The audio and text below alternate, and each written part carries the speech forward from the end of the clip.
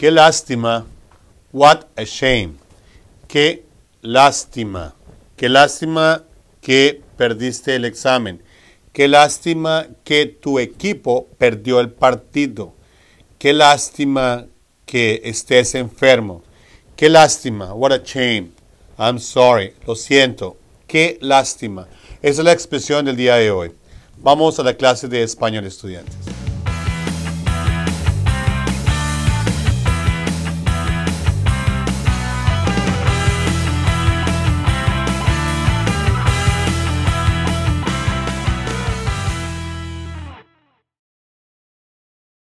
Muy bien, estudiantes. ¿Hoy qué día es? Hoy es día martes, martes 9 de febrero del año 2021.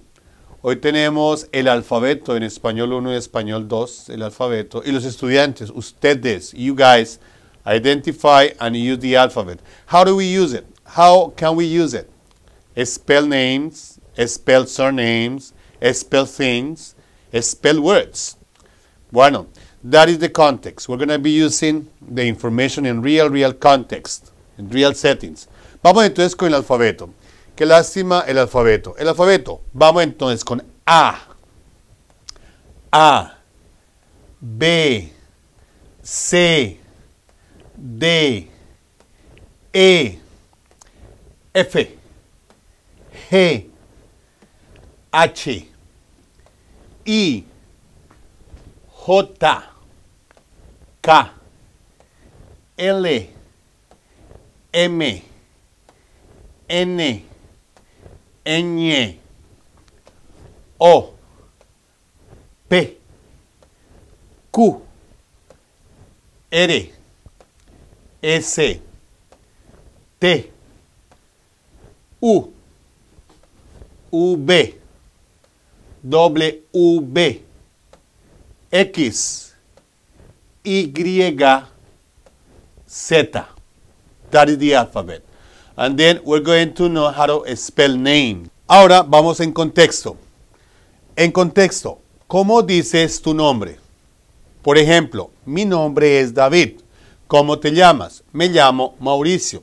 ¿Cómo te llamas? Me llamo Austin. How do you spell your name, Austin? How do you spell your name, Maya? How do you spell your name, London? How do you spell your name, Maritza. Mi nombre es David. D A V I D. D A V I D. Now it's your turn. Now you're going to spell your name. Muy bien chicos, ese es el trabajo de hoy. Vamos a estar trabajando con el alfabeto y con los elementos de clase class objects, classroom furniture, classroom supplies, school supplies today in class. Espero que aprendan hoy en clase este vocabulario, este alfabeto. Don't forget, spell your name, spell words, that's the work. Thank you very much, goodbye. Nos vemos chicos, hasta la próxima.